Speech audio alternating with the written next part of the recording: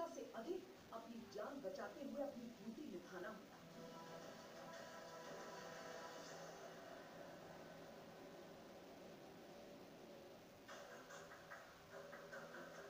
बहुत बड़ी मुश्किल आती है पानी की, क्योंकि जहाँ सेब भी जमकर पत्थर की गेंद जैसा सख्त हो जाए, वहाँ पानी की बूंदें कहाँ मिलेंगी? प्यास बुझाने के लिए जो जद्दोजहद की जाती है, वो भी है पेट्रोलिंग के दौरान बर्फ़ के नीचे मौजूद पहाड़ी नालों को चिन्हित कर लिया जाता है। ज़रूरत पड़ने पर इसी का पानी इस्तेमाल किया जाता है। जितने भी नाले वगैरह हैं जो कि स्नो से ढक जाते हैं तो उस जगह पर हम एयर मार्क करके रखते हैं ताकि बर्फ़ को वहाँ से हटाया जाए। एक जगह पर पूरा का पूरा क्या को वाटर सोर्स के लिए एक जगह बनाया जाए एक स्टेरलाइज टैबलेट होते हैं जिसको प्यूरिफिकेशन किया जाता है। सभी स्टूडेंट को जो किट दी जाती है ताकि वो एक लीटर के बीच में टैबलेट को डाला जाता है उसको पूरा प्यूरिफिकेशन करके ही दिया जाता है ताकि पेट की कोई बीमारी स्टूडेंट को किसी भी तरह से ना हो। यहाँ जहाँ हम हैं यहाँ पानी का कोई सोर्स है। जी जहाँ पर एक छोटा सा नाला है जो कि अभी देखें तो पूरा बर्फ़ से ढका हुआ है। मैं ये भी बता दूँ कि आमतौर पर जिसे हम नाला कहते हैं ये नाला वैसा नहीं होता है ये सीजनल पानी के सोर्स की वजह से आप लोग नाला कहते हैं। जी। जी जी। तो ये नाला नहीं गंदा नाला नहीं है बल्कि यहाँ से पीने का पानी हो सकता है। अगर आप करके ये स्नो का स्नो का जितना भी बर्फ़ पिघला हुआ है वही पानी आता है। उसी को हम क्या बोलते हैं? जो कि बर्फानी नाला हालाँकि बर्फ़ को पिघलाकर पी लेना उतना भी सरल नहीं। जिस केमिकल का इस्तेमाल पानी को स्वच्छ करने के लिए किया जाता है, वो लंबे समय तक प्रयोग के कारण अल्सर बन सकता है। कि जो पानी को प्योरीफाई करने के लिए, जो उसमें टैबलेट्स मिलाए जाते हैं उसे इवेंचुअली अगर हम बहुत दिनों तक स्नो को मेल्ट करके पी रहे हैं तो उसमें अल्सर्स के बहुत केसेस आते हैं। ऐसा हो सकता है कई कंडीशन में ऐसा देखने को मिला है कि उसमें आपको गैस्ट्रिक अल्सर होने के काफ़ी ज़्यादा चांसेस होते हैं। अगर उसको टाइम से पेशेंट को इवैक्यूएट नहीं किया गया तो ये चिंता का विषय हो सकता है। सबसे अद्भुत बात यह है कि एक जवान से लेकर जनरल तक इस प्रशिक्षण में माहिर होते हैं और वक्त पड़ने पर एक क्षमता के अनुसार कार्य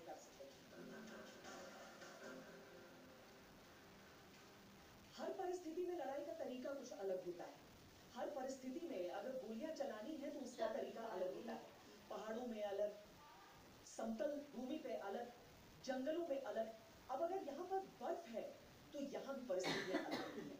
अव्वल तो आप ये देखते हैं कि जो इनका पहनावा है जो कैमोफ्लाज है इनका, वो सफ़ेद है ताकि बर्फ़ में मिल जाए। दूर से अगर कोई देखने की कोशिश करे तो आपको बिल्कुल नहीं दिखेगा कि कई दफ़ा कैमरे की नज़र से भी आप देखेंगे तो आपको लगेगा कि ये बिल्कुल घुल मिल जा रहे हैं इसमें अब इन परिस्थितियों में आप स्कीज को लिए हुए ये किसी अ, सहारे को नहीं लिए हुए हैं बल्कि ये इतनी आसानी से बंदूक को थामे बिल्कुल एक तैयार स्थिति में आगे बढ़ रहे हैं कॉम्बैट मोबिलिटी यानी कि एक ऐसी परिस्थिति में लड़ाई के लिए आगे बढ़ना जहाँ पर संघर्ष की एक स्थिति हो। और उसमें देखिए कि किस तरीके से स्कीज को पहने हुए, इस हद तक ट्रेनिंग हो जाती है कि स्कीज को पहने हुए, बंदूक को ताने हुए, इनकी जो चौकस निगाहें होती हैं, वो पूरी तरीके से देखती रहती हैं कि कहीं इस सफ़ेद सैलाब में कोई दुश्मन तो नहीं है छिपा हुआ। बिल्कुल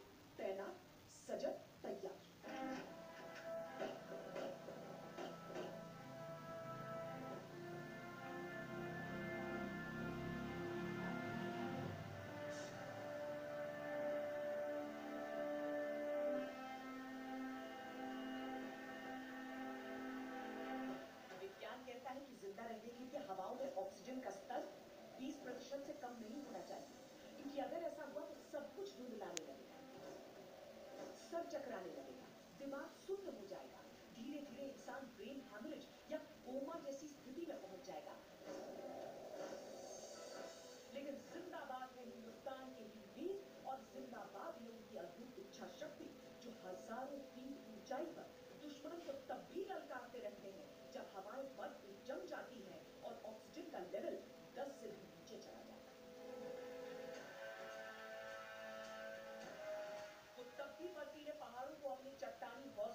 कुचलते हुए आगे दौड़ते चले जाते हैं, जब तापमान शून्य के 50 डिग्री सेल्सियस से भी नीचे चला जाता है।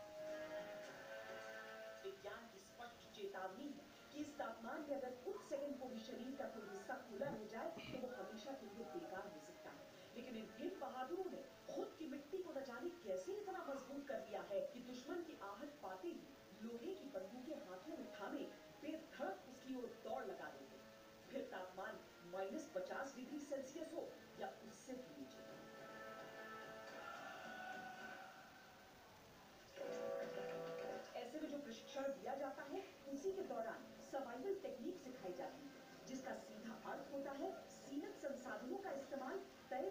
ज़्यादा दिनों तक करना ताकि मुश्किल वक्त में ज़िंदा रहा जा सके।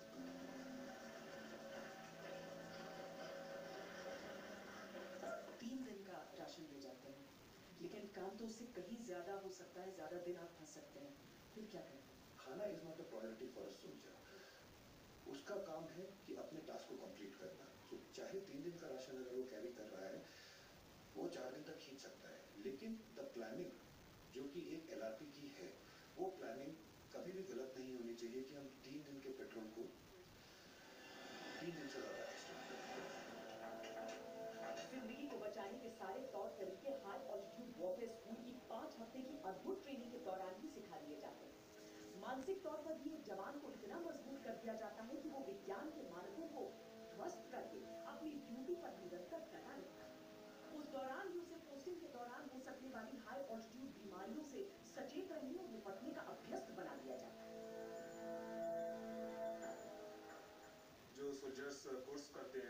उनको जो इंजरीज का जो सामना करना पड़ता है, वो कोल्ड से रिलेटेड इंजरी जो होती हैं, जैसे कि चिल ब्लेड और snow urticaria frostbite snow blindness इसके अलावा जो इंजरीज जो हॉर्स के अंदर उनको रूटीन में देखने को मिलती हैं, वो हाइट से रिलेटेड होती हैं, जैसे कि high altitude pulmonary oedema acute mountain sickness high altitude cerebral oedema जहाँ भी बर्फ़ पड़ती है, वहाँ पर एवलांच का खतरा होता है। दरअसल कई दफ़ा वेदर की तरफ़ से वार्निंग दी जाती है कि एवलांच है, लेकिन वो उतना सटीक नहीं हो पाता है और कई दफ़ा इतना कम समय होता है रिएक्शन के लिए कि कई जो हमारे जवान तैनात रहते हैं उन इलाकों में, वो फंस जाते हैं। बहुत दुर्भाग्यपूर्ण परिस्थितियाँ होती हैं और तब उनके ही जो साथी होते हैं, वो अपनी हिफाजत को, अपनी सुरक्षा को भूल कर और उसके बाद एक सर्च एंड रेस्क्यू ऑपरेशन के लिए निकलते हैं, जो बहुत ही जटिल, बहुत ही कठिन होता है और बहुत ही टेक्निकल भी होता है इसके साथ। एक एवलांच रेस्क्यू टीम किस तरीके से काम करती है। वो यहाँ पर दिखाने की कोशिश हो रही है और बाकायदा जो प्रशिक्षण दिया जाता है, वो तरह का रहता है क्योंकि आपके पास गलती की गुंजाइश बिल्कुल भी नहीं है इस की।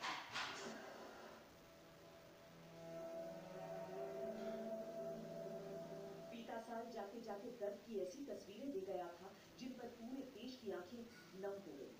2017 की शुरुआत में जनवरी महीने में गुरेज सेक्टर में आए बर्फीले तूफ़ान ने 20 जवानों की जान ले ली।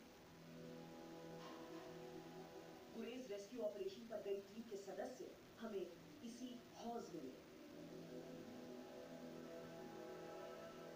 बल्कि हमारे जवानों से दुश्मनी ऐसी रहती है कि वक्त वक्त पर आए एवलांच में हम अपने जवानों को खोते रहते हैं।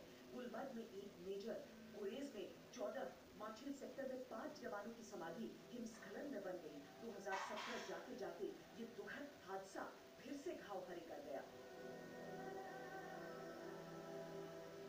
आपकी टीम अभी हाल में इन्वॉल्व थी गुरेज में? जो एवलांश था, उसके बाद रेस्क्यू ऑपरेशन में। मैं समझना चाहती हूँ कि क्या मतलब होता है इसका? कितना समय लगा आपको? आप किस तरीके से जाते हैं? कैसे किया?